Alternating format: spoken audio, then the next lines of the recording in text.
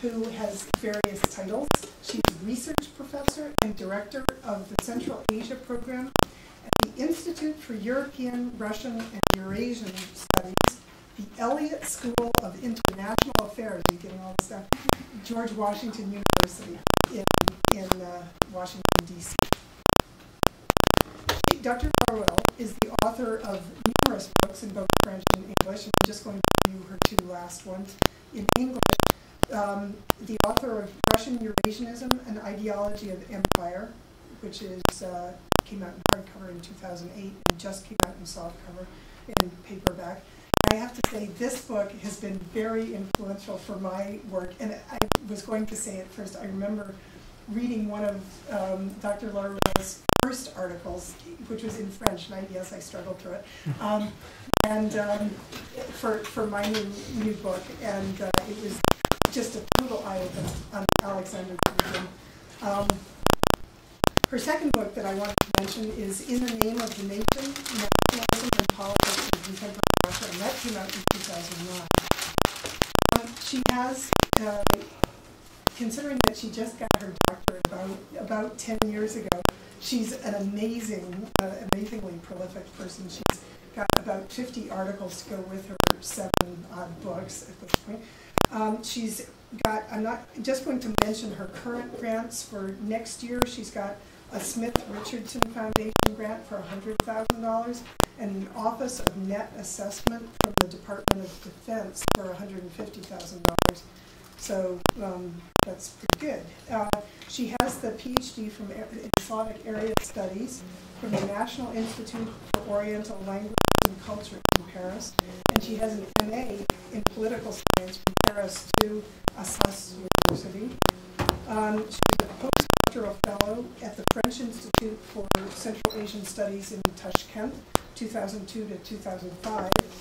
And um, 2005 and 6, she was a research fellow at the Woodrow Wilson International Center for, um, for Scholars in Washington. Today, she'll be talking to us about Russia looking north from the Kremlin's policy to Arctic net. Please help me welcome Dr. Lowe. Thank you very much, Edith, for this nice introduction. Thank you for being here today. So, yeah, we'll speak about Russia's policy in the Arctic, so it will be a little bit exotic, and we will have to look at, to have a look at a lot of facts. So first, very briefly, just to give you the global picture, as you know now, there are still a lot of issues being discussed concerning climate change, but globally, we uh, can say that climate uh, change debate is really part now of the international affairs world debate. So it's related to uh, energy issue, to preparedness to natural catastrophe. It's also linked to rising world population, to migration development, to health issues, and so on. This climate change is expected to impact more on some ecologically fragile region like North and South Pole. And uh, especially the situation has become very challenging for the whole Arctic. Um, there, you may just beginning with that so that's really the most important. That's Google map of the Arctic Ocean without any ice. Wow. So as it will probably be in uh, something like 20 years, or we don't know. so you have to look at this map and try to, I mean, uh, know where each state is. So Russia is really the big part. Canada, Alaska on the other side. As you may know, there are five uh, states uh, which have uh, uh access to Arctic Ocean, the US, Canada, Russia, Norway, and Denmark. And three of them, three other Sweden, Finland, and Iceland, have Arctic territories, but no access to uh, Arctic Ocean. So because of the climate change, because also of the end of the Cold War and the rearrangement of a lot of international affairs in the region, all these Arctic states are really becoming to be more and more interested in their Arctic territory because of global geopolitical change, but also because of resource, resources uh, uh, projection, and they are, of course, under pressure of some private actors who are really interested in trying to develop uh, uh, Arctic resources. Russia is, in fact, the main Arctic actors. It's the main in terms of population, more than half of the Arctic population is living in Russia. Um, almost half of the Arctic territory is in Russia, and Russia has been the first in uh, uh, sending its own population since the 16th century in Arctic region. But it's really the less known uh, uh, uh, actor in the region, which is very strange because in fact Arctic is really key for Russia's future. So depending how you define the Arctic, of course, uh, you can have a limited definition, which means that only the part north to the Arctic circles is, globally speaking, the Arctic. But in fact, you need to have a more global view to really understand the challenges for Russia, which are that, in fact, permafrost, so frozen soil, is really uh, 60% of the Russian territory, which means that concretely Russia has to face almost Arctic condition on 60% of its territory. And that's really something which is challenging in the years, to, will be, which will be really challenging in the years to come uh, for Russia uh, economic and political development. So what do we know about climate change in Russia? We know that first the territory will be particularly affected because climate change is uh, uh, especially visible in northern region of the world. So all the northern part of Russia will be dramatically affected. We also know that Russia is the only developed country that will have some economic advantages from climate change, which is very rare. Why? Because, because of warmer climate, Russia will have the possibility to have new agricultural seasons, new agricultural products, more hydroelectricity coming from the big uh, Siberian uh, rivers. So a lot of relatively positive things, at least on the paper. The problem is that Russia will also have to face very negative impact of climate change. It will have more storms, more drought, more disease, taiga and tundra will more or less disappear. Uh, uh, all the ecological system of Siberia will change. The melting of permafrost will drastically impact the infrastructure and the population management in Siberia. A large part of Siberia will probably become kind of wetlands where it will be very difficult to circulate and so on. And the problem is that the Russian government is relatively interested in the economic advantage, but not in the uh, uh, economic cost of this climate change. And they are not really preparing themselves to uh, develop kind of uh, adaptation strategy in preparation of this climate change.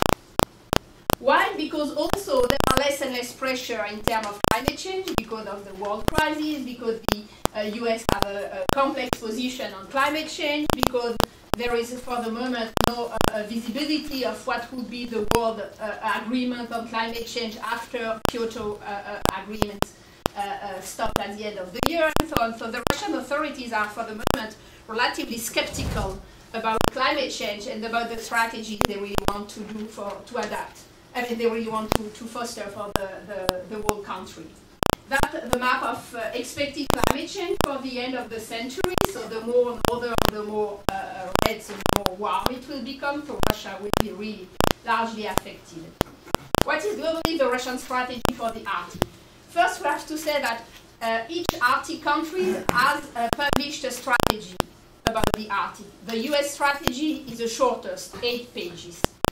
The Russian strategy is a big 100 pages. It's in fact the most elaborated strategy with Norway, and it's a very holistic view of the Arctic. It's speaking about climate change, economy, military, fishing, energy, transport, protection of species, whatever. The problem, as usually in Russia, is that in fact there are a lot of bureaucratic activism, especially since the beginning of the 2000s, but a very low level of implementation of all these Arctic strategies. Why? Because budget allocation is always very complex and political things in Russia, because of the high level of corruption, because of the global inefficiency of the state administration, because also sometimes the decisions taken at the higher level by Putin are not implemented at all uh, uh in the region and so on. So the, the Kremlin strategy was really to redevelop all the key industries for the Arctic region that had been totally collapsed after the end of the Soviet Union, but it didn't really succeed for the moment. He wanted to see uh, shipyard develops and have a new wave of icebreakers because icebreakers are of course very important for any kind of economic activities in the Arctic. He wanted the revival of the fisheries in Russia. He wanted to develop port infrastructure and so on. For the moment, the majority of these uh, uh, elements are just on the paper and you cannot really see them in becoming reality. Another important element to understand Russia's strategy in the Arctic is that in fact it's really under the control of the security-oriented elite. Putin himself is very interested in the Arctic and that's why he decided a few years ago to become the head of the Russian Geographical Society, which is very active in the Arctic. Um, Igor Sechin, who is taking care of Rosneft, the national, uh, the state-run company for uh, oil exploitation, is also very interested in the Arctic. Shoigu, the Ministry of Emergency Situation, is also very active. Patrushev, Minister of uh, um, Interior, and so on. What is interesting is that the international positioning of Russia on the Arctic has really evolved during the, the last year. Let's say until 2008, the Russian narrative on the Arctic was very much a, a very relatively aggressive, self-assertive narrative about kind of new Cold War beginning that the US and Canada were trying to limit Russia's activity in the region and so on. And Chilingarov, who is the, the pre Russian president's uh, representative for the Arctic, has been a very uh, vo vocal person speaking against the, the, the US and uh, Canada. He has been the one who decided to put the Russian flag on the seabed of the Arctic in 2007, which has a huge, had huge repercussion in the world and especially in Canada. Uh, where uh, the prime minister declared that it's not possible just to put a flag and decided that you own the territory. That so ha Russia has been relatively aggressive in terms of uh, uh, speaking about the Arctic. But in fact, since 2008, there has been a total change of Russia's strategy, and now Russia is really pushing for kind of world cooperation they are now organizing every year an Arctic International Forum called Dialogue for the Arctic with a lot of famous uh, politicians coming from the uh, from different regions. And Russia is really deciding to develop this new kind of Arctic brand on the international scene because it's one of the only places where Russia can look as a participative stakeholder in terms of international affairs. So things have really changed in 2008. What are, very briefly, the international challenges for Russia concerning the Arctic? The first one is the issue of territorial expansion. As you may know, under the water ocean, states may claim the seabed if they can prove that it's a geological continuity of their own territory. And in fact, Russia has been claiming 1.2 million square kilometers, which is about half the, the seabed of the Arctic Ocean, and is now waiting for the UNCLOS, the United, uh, United Nations Convention Law of the Sea, to decide if it can legitimately consider that it's the prolongation of its own territory. If it works, so that's Russia, that's Russia's claim. So Russia will be able to exploit economically about, about half of the Arctic Ocean. So you can imagine how is it a really important issue. That's the claims done by the other states. So for the moment, the US cannot claim anything because they didn't ratify the convention, the law on the sea. That's Norwegian claim, that's uh, uh, Greenland, and so Denmark and Canada have. So, so Russia in green is really claiming the, the majority of the Arctic Ocean. And we don't know when any decision will be uh, taken. Then uh, Russia also, was also able to solve uh, uh, some territorial dispute with Norway in 2010. They have been able, after 40 years of discussion, to share, to divide into two parts their joint maritime border uh, up to Norway uh, territory.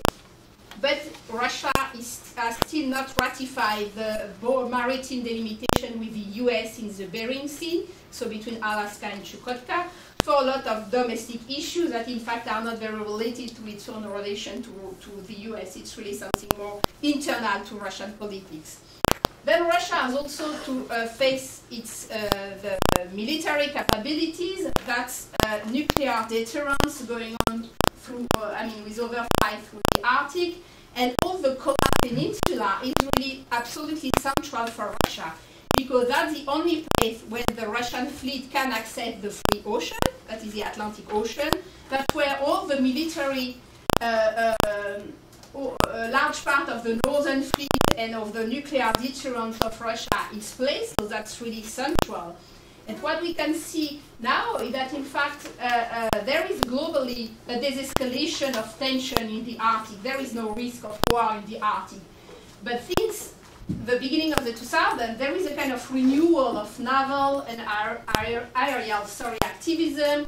Russia is trying to modernize its northern fleet, and uh, uh, it's really becoming more and more uh, uh visible in the Arctic. But in compared to Soviet period, to the Soviet time, there is really less military activities in the Arctic than before. In fact, the real issues in the region are really soft security issues. As you know, I mean, because of this climate change, the Arctic will become more and more populated. There are more and more overflight, for example, so going, I don't know, from China to the US through the Arctic. There are more and more tourism.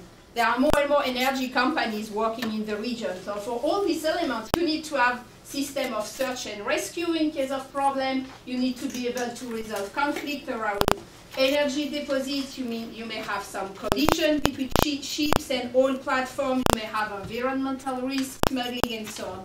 On all these issues, Russia is now really pushing for international cooperation, and especially on search and rescue system. Russia is now working very closely with Norwegian, with the Norwegian, and also with the U.S. Uh, um, naval um, Coast Guard. Uh, I want to go more quickly on, I mean, what are really the domestic challenges for Russia in terms of developing the Arctic. As you can see, 20% of Russia's GDP is generated north of the Arctic Circle. And really the large majority of Russia oils, Russia's oil and gas, but also I mean, precious minerals, is produced in Arctic or subarctic regions, which means that the region is just becoming key for Russia, and it will be more and more because since, I mean, in 10 to 20 years, we will see the complete depletion of Siberian oil and gas field, which means that Russia will have no other choice than to develop Arctic uh, uh, oil and gas field if you want to stay uh, an energy uh, producer. Uh, let me um, go back to the map. Oops, sorry. Yeah, so all this Siberian uh, uh, oil and gas field will soon be depleted and everything will have to be produced more or less here. So that will just be really crucial for Russia, especially if you want to target uh, to target uh, Asian market and to develop the so-called modernization uh, strategy initiated by uh, Medvedev. An important element also is the change in the northern sea route, so that's the Russian uh, Norway, Northeast Passage, which is uh, the ice is melting really quick, uh, faster on the Russian side than on the Canadian side. So it's really becoming now, during the summer, it's an open road. And there are now more and more ships trying to, uh, to go from uh, Nordic countries to Asian countries. And this summer, 2012, there will be really like about 20 big ships really transiting minerals from Asia, mostly going from east to west. So on that, Russia may also make a lot of money. It will never become, of course, kind of Suez Canal Arctic version, even if we can usually read a lot of things in, in a newspaper, because that would be a very challenging route, but at least it's potentially one on which Russia can make uh, uh, money. So globally, if Russia really wants to become active in the Arctic in terms of energy resources, it will have to develop cooperation patterns with foreign countries because Russia has no technological know-how and no investment capacities because extracting oil and gas and minerals in the Arctic is just very challenging and very costly. So Russia will have to change its global governance system and political system in order to be able to uh, uh, really exploit them. That the, the idea that going through the Arctic road is really uh, shorter than going by the current road, but that doesn't take into consideration all the technical challenges you have to face when you are uh, in the Arctic. That's the northern sea road and the main Russian port, which are more or less in very bad shape. So for the moment, in case of problem for shipping, it's very difficult for them to stop in ports and to uh, have their problem resolved uh, in the region. Uh, second uh, phase of second phase of domestic challenges for Russia is population management. As you know, the country is really facing an unprecedented demographic crisis with very low birth rate, but that's not a Russian specificity. What is the Russian specificity is a very high male mortality, and also the fact that women in age of giving birth are just shrinking. So the, the demographic crisis will go worse and worse in the uh, years to come. Another important problem for Russia is its lack of qualified workforce. See, I mean, next year the number of students will be divided by, by two in Russia, and as you may know, there is a large immigration pattern of skilled people, which means that our country is really lacking uh, a qualified workforce for working in the Arctic. Another issue is that Russia is now a kind of archipelago in terms of population. You have growing socio-economic dissociation between regions. You have, uh, uh, so all the uh, western part of Russia is relatively well, going well in terms of demography, in terms of GDP, in terms of having the skilled people, having private, I mean, market economy functioning more or less well, then you have North Caucasus, which is a very specific region because of its own population and its own political issues and security issues. And then you have the rest of Russia. You have some strategy of redeveloping the Far East, but that's not working. And that the Kremlin really now has to face which kind of strategy you want to develop for all the Arctic region that he really wants to have them developed, but which kind of development can you offer to your own population when people are by themselves leaving the Arctic regions to go back to European regions? Or do they want to let the region with almost no uh, people living there and just sending some shift work people like Canada is doing or like Australia is doing in some very remote region. That's a big strategy, choice of strategy for Russia's development and for the moment the solution has been dreaming, coming back to a kind of Soviet management when with the idea that we will give more money, more big salary for people agreeing to go back to uh, uh, the Arctic. Uh, so globally, what Russia really would like to do is to, to redevelop all this kind of landlocked uh, uh, region with the hope that through the northern sea route, Russia will be able to help them to develop the region by sending materials and so on. Uh, Russia also has to face the fact that some, some cities are totally dying in the Arctic, but some other cities are totally booming because of the oil and gas exploitation. So, for example, near Norilsk, you now have cities with a booming population, a lot of migrants coming. So uh, the, the local municipalities are not ready at all of taking care of these new migrants. To give you just an example, in Norilsk, which is really the biggest Arctic city in the world, you have now about 50,000 migrants coming from Caucasus, I mean Azerbaijan mostly, and um, Central Asia, and they have their own planes, so just the yeah, like the, that's the northern mosque in the world in Norilsk, built by Azeri people, and now with mostly Uzbek and Tajik migrants. So that's a total change for Russia of view, I mean, view of its own uh, national identity.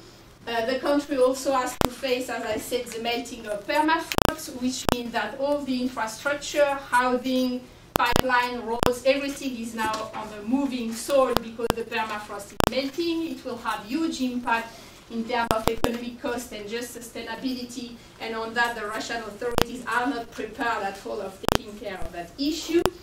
So finally, what we can see that four different Arctic uh, developing. One is the Murmansk Arkhangelsk region, which is the region with economic development, good population, a lot of uh, military activities, a lot of energy activities, relatively good connectiveness to Moscow and St. Petersburg, that's fine. Then we have the uh, Yamal Peninsula and the Norilsk region, which are very challenging in terms of climate, but where the most the majority of oil and gas field and of mineral exploitation is going on. So it's also a region which is uh, will probably continue to develop.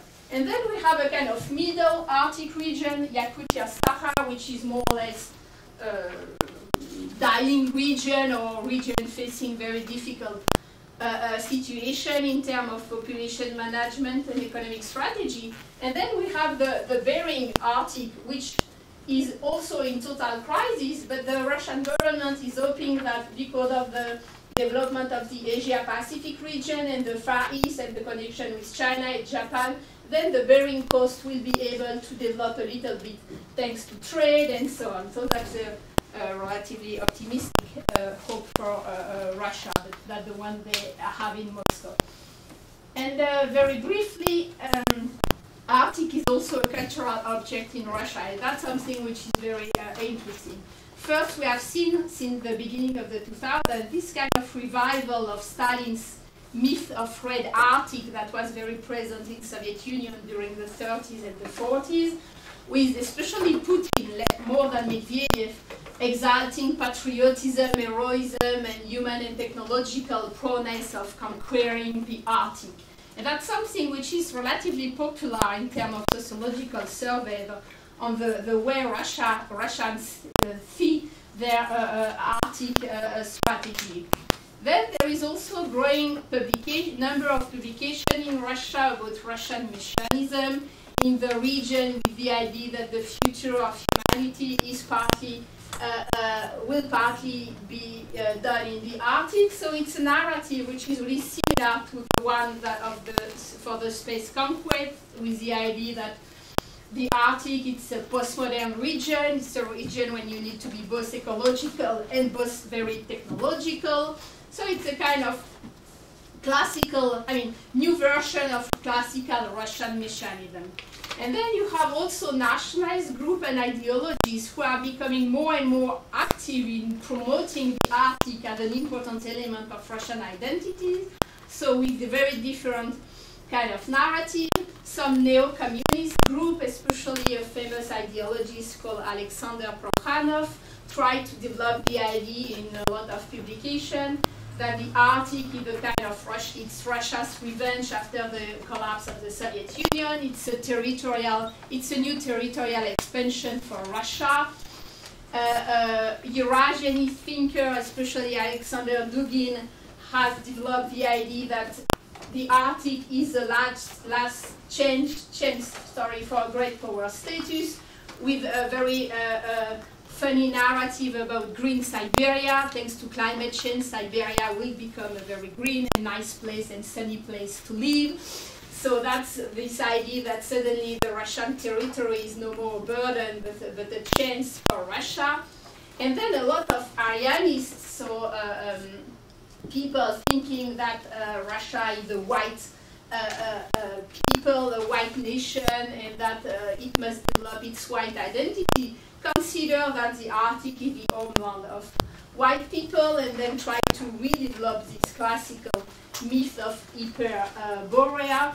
and that's something which may look a little bit like exotic, but it's really not because, because of the growing xenophobia in Russia and the growing Europeanization of Russian nationalist narrative, this idea that Russia has now to take care of itself going north and no more going south is something which is relatively well received in Russian society, and especially because that there is no solution for the North Caucasus and that it's a total dead end. You can now find more and more uh, um, both average people, but also uh, um, experts working on the Arctic, developing the idea that Russia has to uh, give up the South Caucasus and I mean, Central Asia, whatever, the, the place where labor migrants are coming, and really has to go north and to develop what will be its own territory, this uh, uh Arctic territory. And uh, Arctic al has also become something very fashionable in terms of painting.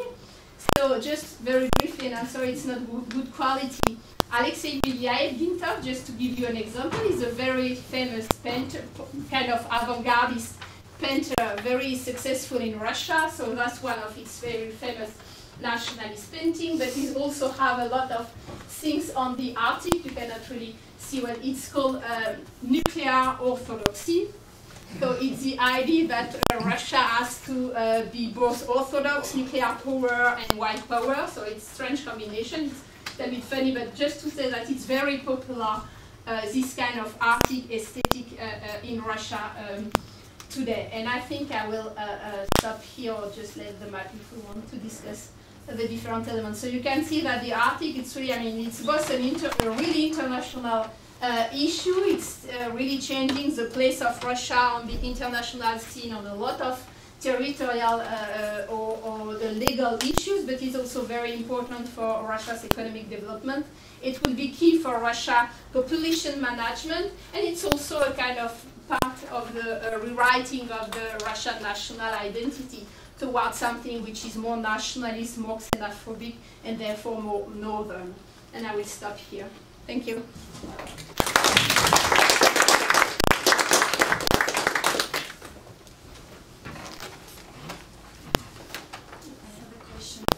Um, and then my other question is, something that is more of a concern, and when Edith was being self-critical about the title, I think she was kind of getting at this because it's something I've mentioned before, which is the, the use of the frame of the Cold War.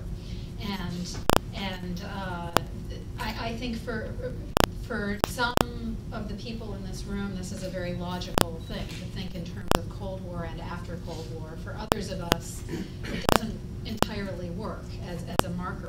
Um, and, and so uh, if, if we do that, if we continue to sort of think along those lines, then, then what are the implications of that for the shape of what we might produce? I guess that's just a question I'm throwing out. And that's, that's really all I have to say, other than to thank Edith because she and Bart did, you know, an enormous amount of work uh, to, to make this happen. And, and the rest of us were really just sort of hangers on. Um, and, and then Leslie's not in the room right now, but I just wanted to thank her because she's been here like a yeoman, working hard, as, as have a number of, of staff members from the other centers. I don't really have anything to add to that except to say thank you to the organizers of, of this, which I've been primarily. You've been. Pardon? You've been. Well, but I, th I, I think Megan's uh, sort of description of, of us as hangers-on is more accurate. Whoa, I can't get shorter than that. but we'll be bookends in, in terms of the length of our comments. I uh, thank you, Edith and, and, and, Bart and Leslie, wherever she is, and, and everyone, because um, yeah, this has raised some really interesting perspectives from my point of view concerned with Africa and Africa's relations to the rest of the world. And I have to say that um, for me, the image of, of Cold War evokes uh, these, these two um, prime players, the West and the Soviet Union, and there's no one else in the world. And, and so listening to the papers and, and um, hearing what people had to say brought to mind that it was, it was good for us to revisit what the rest of the world was doing um, during the Cold War and how the Cold War and these um, machinations between the two prime players had a ripple effect in, in the rest of the world. There were um, interesting things going on. Um, the, um, the fact is, this was not a single event. It didn't involve just two cultures. Um, you've talked a lot about language and experience, and so when